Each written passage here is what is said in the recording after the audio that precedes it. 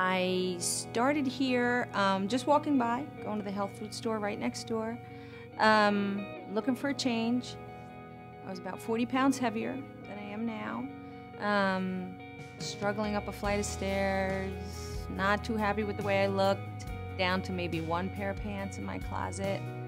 And uh, I knew it was time for a change, and it, it had to change. And now I'm pursuing things that it wouldn't even occur to me, breaking through barriers. The things that keeps me busy during the day, I want to make that smaller, and I want to make my world bigger.